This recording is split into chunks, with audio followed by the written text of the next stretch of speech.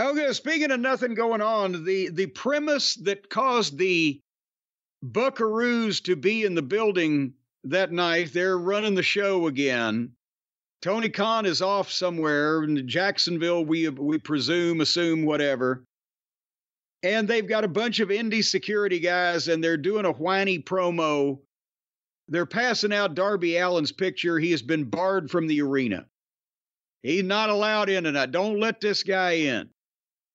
And then Sonjay Dutt walked in and told them, in uh, and again, this is the uh, Sonjay doing the the comedy. It's comedy on top of comedy. This was hat on a hat. You've got comedy figures in the Buckaroos and a comedy figure in Sonjay, and together they do the comedy about Zippy the giant pinhead in the main event tonight taking care of Bryan Danielson.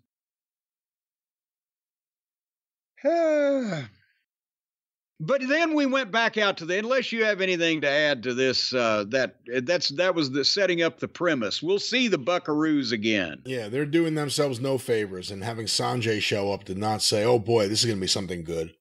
Why would you why can't they even act Uh, let me try. There's so multiple. Act like a gentleman is not like acting and actors. Let me try to phrase that. Why can they not perform like they are serious at what they are doing, which would still be acting, but it wouldn't be acting badly on purpose? See, this makes your head hurt.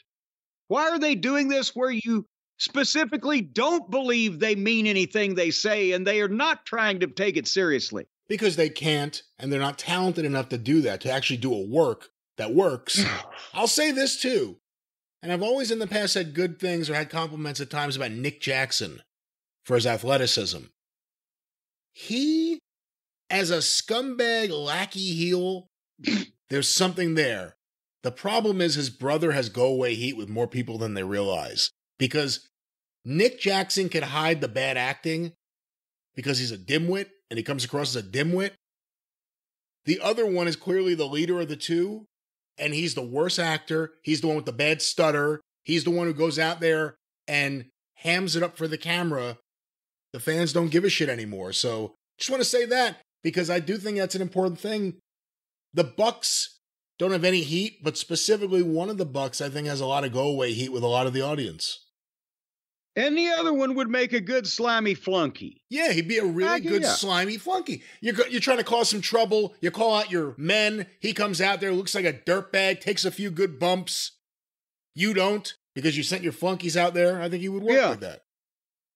I got no problem with that. See, now that's an example of being used as you really appear rather than as you delude yourself to believe you are.